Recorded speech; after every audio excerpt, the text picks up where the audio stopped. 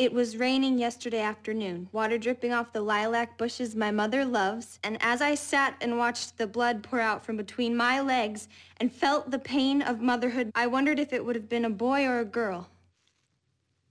Thank you. That was very personal. Thanks. Anybody else have their haiku? My name is Lance Clayton. I'm a writer, but so far nothing I've written has ever been published. Ernest Hemingway once said, all he wanted to do was write one true sentence. He also tried to scratch an itch in the back of his head with a shotgun. Your poetry course, it's not very popular. There's poetry, sir. Does it bother you that I have male friends? Hmm, not at all.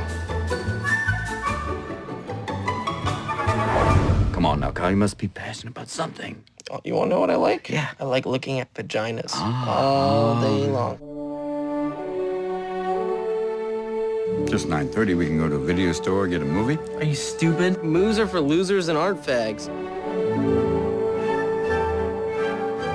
Carl's a complex guy. Ew, is that one being crapped on? Fucking German Scheiser porn. All right, dude, it's fucking hot, right? No, dude, what the fuck is wrong with you, yo?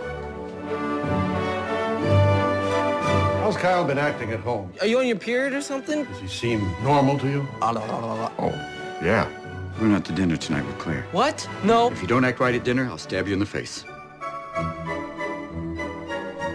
So, what do you like to do, Kyle? Nothing. You must like to do something. No. Oh, Kyle doesn't like me. Oh, no.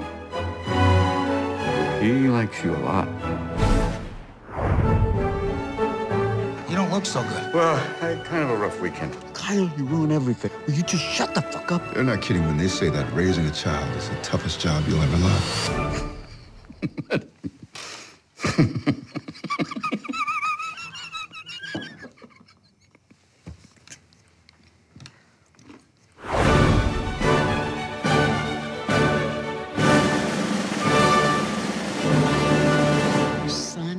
Thought he was a zombie. I wish. I like zombies.